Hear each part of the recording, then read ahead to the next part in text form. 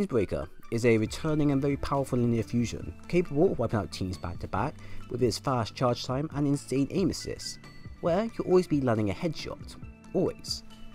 It's the number one fusion to use within Gambit for its snappy and accurate shots, with just its presence being enough to prevent other players from engaging just out of fear. But, as it is an exotic, it's not a weapon you'll come across all the time, so you'll most likely face the Crooked Fang users instead, which can be 50-50, depending on the player in terms of skill, and is a relatively good linear weapon for invading and hunting players. But this video isn't just about the Queen's Breaker, no. One question that's been bugging me for a while is, can we make a mini version of the Queensbreaker through the Crooked Fang? As it may be possible to land one, but with RNG in the way, at least we can see what the conditions are needed to achieve such a goal, and what necessary perks and stats are required. So let's start off with the stats for the two weapons. The Crooked Fang has the following. 41 impact, 34 range, 36 stability, 36 handling, 35 reload, 61 aim assist, 65 recoil direction, 38 weapon size, and 25 zoom. The Queenbreaker has the following. 41 impact, 55 range, 82 stability, 46 handling, 64 reload, 60 aim assist, 60 recoil direction, 40 weapon size, and 25 zoom. As you can see the stats for the Crooked Fang compared to the Queensbreaker are very large and thin in comparison to each other, with the Queensbreaker stability, reload range and handling outright dwarfing the Crooked Fangs, which makes sense as this is a legendary versus exotic comparison. Everything else though seems to be relatively on par with each other with Fang's recoil direction being 5 more than the Queen's, aim assist being only plus 1 from each other, and both zooms and impact being the same, which will require 2 body shots to kill against players. One thing to note, the Crooked Fang charge time is only 533 at base state, while the Queensbreaker is 633 at base state, with only a difference of 100. But the Queensbreaker charge time can be halved depending on the scope being used, with the combat sight offering a whopping 300 charge time instead of the standard 633 charge time. Most linear fusions tend to have around 540 charge time, with the strength leading to good handling speed, range, aim assist, recoil direction and zoom. With that in mind, there's still a pain to work with, with their cons falling into their charge time making little room for hit and runs, and flinch from other players being capable of knocking your aim off and thus wasting a round. Ideally you want to have perks that focus on the pros the weapon as much as possible, so it can outweigh the cons and allow you to get the drop on the players first from long to medium range engagements, to combat the weaknesses of the weapon. So now here are the perks narrowed down, for what you should ideally be aiming for. Masterwork. So pretty simple, you want to have a charge time of plus 10 reduction, as the quicker the charge time is, the faster you'll be able to fire a single shot back to back, which for Gambit, you're going to be doing a lot of, plus limited time means you have to make your shots count. There is a negative side to this though, and that is maxing out your charge time takes away impact from your weapon. But funnily enough, this isn't a big problem, as it's so small that it doesn't really change the way the weapon works, so don't worry about it. Now both handling and range are good choices to have as well, as handling offers faster ADS and time, which is nice for linears, and range offers better accuracy, and better accuracy means more smooth shots. Reloading isn't needed, as I previously mentioned, linears tend to have a good reloading speed anyways. Plus in Gambit, if you pick up a heavy brick off the wall, you only get 3 shots, so it's practically useless to have this perk anyways. Plus, stability now is also a straight no-no, since it doesn't really offer us anything, so don't bother with it. Barrel choice. Barrels to focus on should be around either offering good handling speed or further range, as both will allow you to be more accurate upon shots fired, quicker radiant speed, and better stickiness at long ranges. These are the only ones you to be aiming for, as stability offers nothing to us since linears are single fire charge weapon, so their first shots will always be accurate. Reload speed is okay to have, but honestly not that needed, since reloading on linears aren't that bad, and impact is well and fine, but you need to focus more on headshots anyways.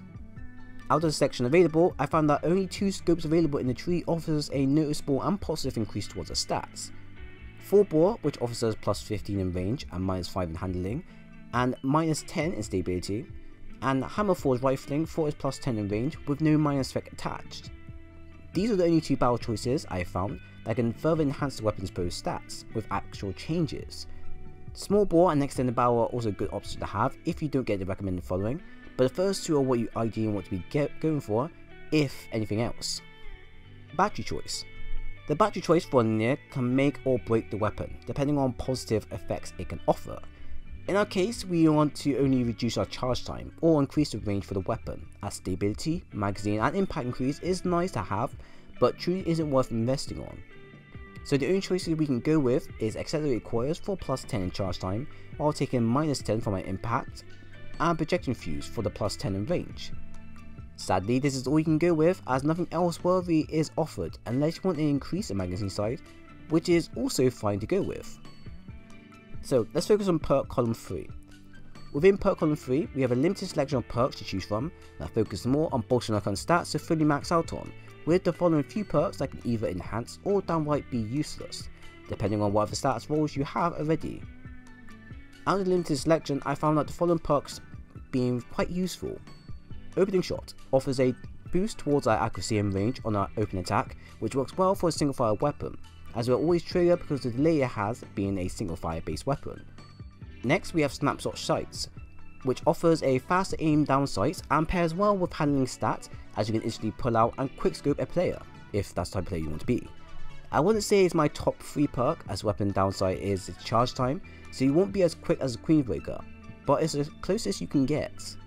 Moving target offers a increase towards our movement speed and target acquisition, while moving and ADSing, Great perk to use since you're going to be ADSing a lot anyways, and with the increased movements, means you can dodge and weave between opponents when fired upon.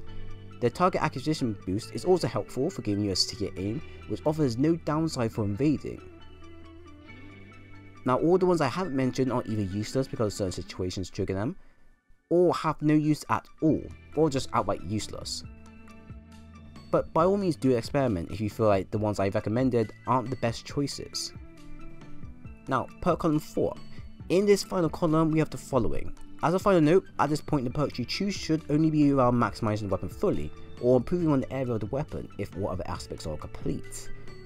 Perks, such as Backup Plan, which reduces your charge time and increasing your handling speed for a short time, can be useful if you tend to swap your weapon in and out to make use of the perk, or if you get rushed by other players. It can, when active, outcharge the Queenbreaker, but only for a short duration of 5 seconds, and then has a 5 second cooldown, which the Queenbreaker doesn't have, so correct timing will be needed on your end to make full use of this perk. Next we have Rangefinder, which offers a increased range and magnification for a weapon, which I find is good but not that needed unless you want to maximize on the magnification of your scope, which to be honest can be useful for some. But I've learned that adding on more range can help with allowing your stickiness while aiming to be more active, so you can land shots much more smoother while actually making this a perfect perk to run with if you're someone that's going to be staying at, let's say, long ranges. Next up we have Rampage, which is the final perk cover and is a worthy choice to pick as it will allow your shots to be more forgiving on the third activation parts. Now, instead of landing headshots, you can land body shots that, if at level 3, can one-shot body shot players. Only downside to this is that you need to land and kill 3 players to get the third activation going, and sometimes this might not always work depending on the match of players. Plus, depending on the time limit you have, it might not even be possible to pull off. Kill Clip is also welcoming if you have a fast reload speed and can also one-shot when activated, but can also go to waste if you don't quickly use and maximize around it. So both perks are good, but not as good compared to Rangefinder and Backup Plan. So the conclusion. Alright, so the final conclusion for the go-to God Roll or Queenbreaker roll are the following that you should kind of be aiming for at best. The scope you want to be going for is hammer forged rifling, battery type accelerate coils, third column moving target, fourth column backup plan, masterwork charge time reduction plus 10. Combining the final following perks will give you a solid and close to near fusion that can act similar to the Queenbreaker and a worthy choice to use if you don't have the Queenbreaker at all.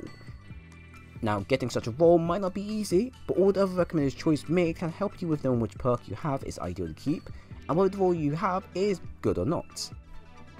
So, thank you everyone, and thank you Guardians for watching this video, as it was a very long one, I'm afraid. Now, if you enjoyed the video, do like and subscribe if you enjoy the content, and I hope to do more in the future. And comment if you've got something to say as well, I'd love to hear your thoughts. But once again, thanks again, and I'll see you guys soon.